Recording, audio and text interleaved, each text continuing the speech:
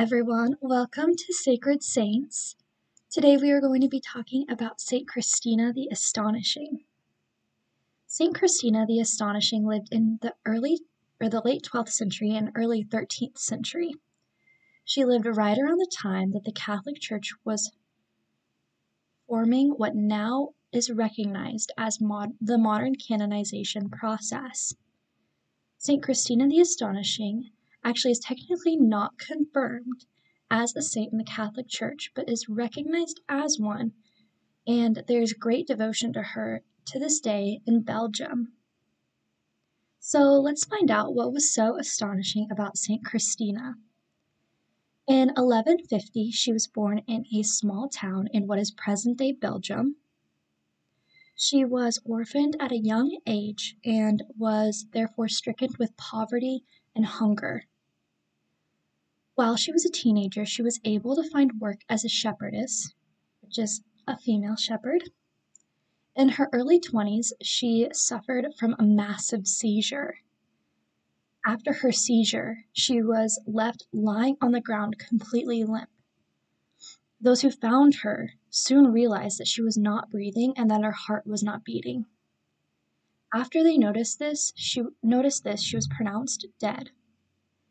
Soon after, the local parish held a funeral for the young woman. The end. Just kidding. Though all of God's creatures are astonishing in their own right, not many astonishing things have happened in her story yet, but that's about to change. This is where it gets astonishing. In the middle of St. Christina's funeral, she suddenly awoke. She realized that she was full of energy and got right to her feet like nothing had happened. She then realized she was in a room full of people. Suddenly, to the surprise of those who were around her, she started levitating and flew up to the roof. After some time, she finally stopped levitating and explained to everyone that she had actually died. After her soul separated from her body, she was given a glimpse of purgatory. She described it as being horrible. She then met God, and He gave her a choice. She could either remain dead and go to heaven, or return to earth and do penance for those in purgatory. She chose to do the latter and was brought back to life.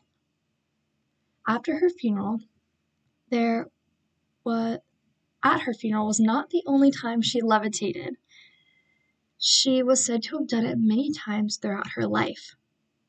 She was also said to be able to smell the sin of others. Remembering her choice to come back and do penance for those in purgatory, she took this very seriously.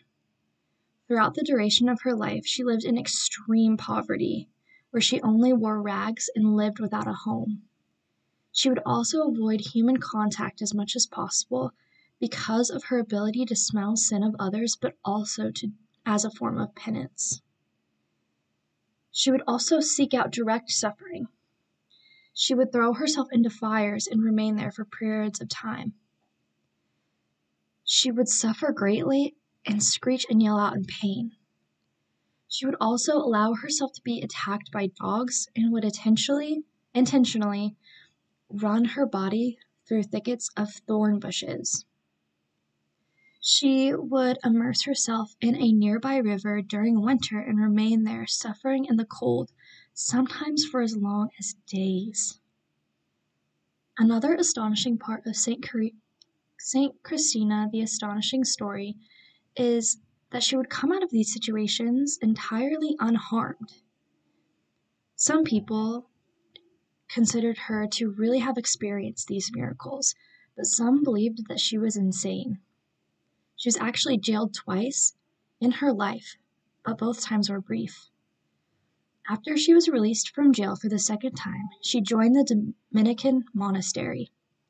After examining her behavior, her prioress, the Monsignor in the monastery, said that though she was extreme, she was always very obedient. Her reputation started to spread about how extreme she was in her faith, so many people started coming to her for wisdom and advice on religious matters. Even despite her pushing through so many physical strains, she ended up living to the old age of 97. And then she died of natural causes, which is astonishing. It is worth noting that there are countless peasants who witnessed these occurrence, occurrences, as well as historian Cardinal Jacques de Vitry, who also claimed to have personally witnessed her incredible behavior.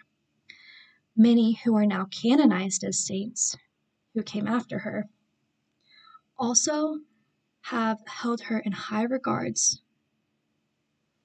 Saint Christina the Astonishing is the patron of millers, those suffering from mental illness, and mental health workers. Her life is also mentioned in the Catechism of the Catholic Church. St. Christina the Astonishing lived an incredible life. She continues to intercede for those who struggle with mental health issues and those who are mental health workers. She is a wonderful saint to go to for the intercession of hardships as you are facing them. Her story is also wonderfully inspiring as she endured countless hardships in her life, and she was able to conquer them all with faith, devotion, and love for God. I pray that all who are struggling in any way with mental health hardships may receive hope and grace from our great God and can find relief in their struggles. Amen.